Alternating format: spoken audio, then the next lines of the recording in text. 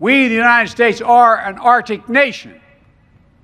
The United States must demonstrate our leadership and engagement. Our diplomacy and our operational skill. We must continue to model responsible maritime behavior and uphold clear rules of international agreements that will protect and steward this pristine environment and secure it for future generations. And by the way, as you, as you know by now, to protect our homeland security as well.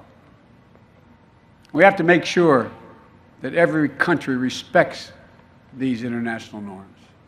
So we need, a, we need modern icebreakers, yes.